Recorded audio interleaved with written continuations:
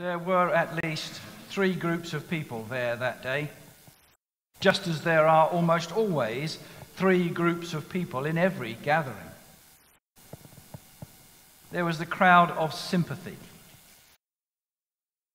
Crowd of sympathy is the first crowd of people that were there that day. These are those people who stood by with tears in their eyes.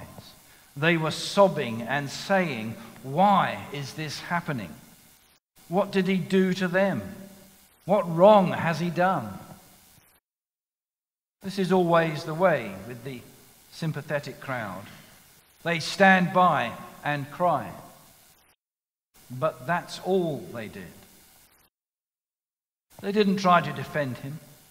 They didn't cry out to Pilate to release him and not Barabbas. They just stood there and cried. This crowd is also around today in many churches up and down Britain, attending church but not speaking up for Jesus. They stand by and watch as other people do God's work. They sometimes cry and say how terrible things are, but they never lift a finger to help. They just stand by and cry.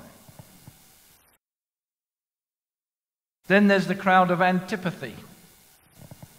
Those people opposed to Jesus Christ and his ministry. And the crowd who shouted to Pilate, Crucify him! Crucify him! This crowd wanted to see Jesus die. He was a threat to them. His teachings were directly opposed to the lifestyles they want to pursue. And this crowd is also with us today. This is the crowd that wants to banish Christian teaching from our schools and keep the good news about Jesus from the radio or the television. They, they hate Christianity and its teachings so much that they want to eradicate it from the face of the earth. Crowd of antipathy.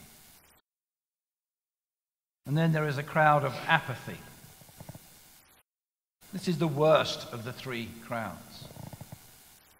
They're just unconcerned about Jesus. They just don't care. No matter what is going on, they don't care in the least bit. Their motto is, whatever. This crowd was there just to see what was happening. They didn't care who was dying, they just came along for the ride to see someone die. And we have this crowd with us today also. They know that a church stands in their town, but they never think of going. They think, well, if they think about it at all, they would think, well, that's nice for them. But they never come to church themselves. They've never read a Bible. They're totally unconcerned. They just don't care. The crowd of sympathy, the crowd of antipathy, the crowd of apathy. They were all at the foot of the cross that day. Are you in one of these three crowds today? Not only do we see three crowds, but we can also see three crosses on Golgotha. Jesus was not crucified alone, he was in the middle of two thieves. There was the cross of rejection. This cross held the thief that cried out to Jesus, If you are the Son of God, come down from the cross. He didn't really believe that Jesus was the Messiah. His words of rejection were, If you are, showing his doubt in the one being crucified next to him. And there are many today who, along with this thief, would rather reject Jesus the Christ than to accept him and have everlasting life. The cross of rejection. Are you rejecting Christ this day? Good Friday is a good time to accept Jesus Christ as your Lord and Savior. Then there is the cross of reception. This was the thief who said to Jesus, Lord, remember me when you come into your kingdom. And Jesus replied, Today you shall be with me in paradise. Many here today, praise God, belong to this cross of reception, but all need to receive Jesus as their Lord and Savior. Because the harvest is plentiful, but the laborers are few. We all need to get with the program and live distinctively as Jesus people today. God has promised eternal life to all who turn to Him. Turn to Jesus Christ as your Savior today. And the third cross is the center cross. This is the cross of love. It was not the nails that held his hands to the cross, it was love. Love kept Jesus on that cross the day they crucified him. His love for you and for me, that is so great that no amount of suffering could have stopped him from taking his place, your place, and my place on the cross. Story is told of a group of schoolboys many years ago that had a new teacher in their school, a fine young Christian man. On his first day at school, he told the class that to be a good school, there had to be rules to follow. The teacher asked for suggestions from, for some school rules from the boys. Well, the boys shouted out, No stealing, no swearing, no lying, no cheating and so on. If we have rules, said the teacher, there must be a penalty for those who break them. One of the students shouted, Ten strokes of the cane across the backside. And all the boys agreed. Well, they were boys. So they had set their rules and their consequences. It was only a week later when the bully of the class, Big Frank, found that his lunch was missing. Someone had stolen it. After some questioning, a skinny little boy named Timmy confessed that he had taken Big Frank's lunch. He said that he hadn't eaten for three days and was desperate for food.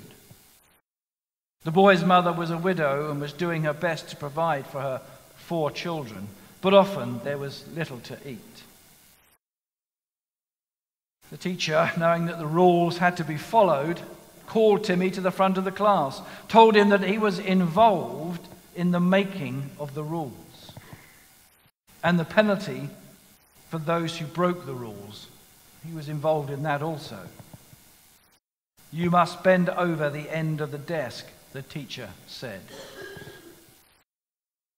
Little Timmy cried, Please, sir, don't cane me. Timmy, you helped make up the rules and their punishment, and now you must take the consequences, the teacher said. Then Big Frank spoke up and said, Teacher, can someone take the place of another for the punishment? Yes, replied the teacher. In fact, it's a biblical substitute, one for another. And with that, Big Frank came up to the teacher's desk. I'll take his caning, he said. At the seventh stroke of the cane, the cane broke. By now, the whole class of boys were in tears. And through tears of his own, the teacher looked down at Big Frank and at Timmy, the little boy. Timmy had put his arms around Big Frank's neck and was telling him, Frank, thank you for taking my caning for me. I will remember this for the rest of my life.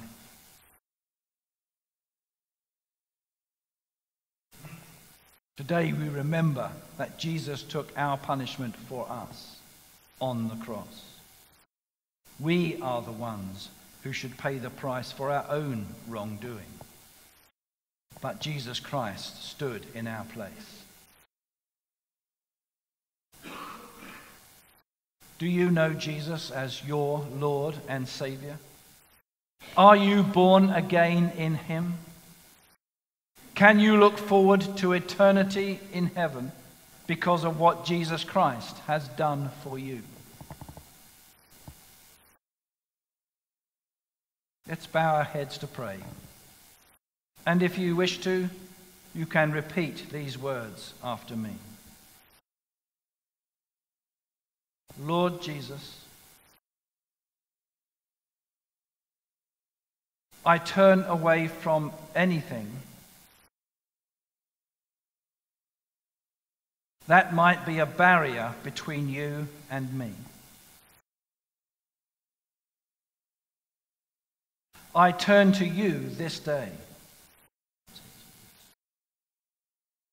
I believe that you died on the cross and rose from the dead to save me. I accept you as my Savior. Help me to learn and to grow as I follow you.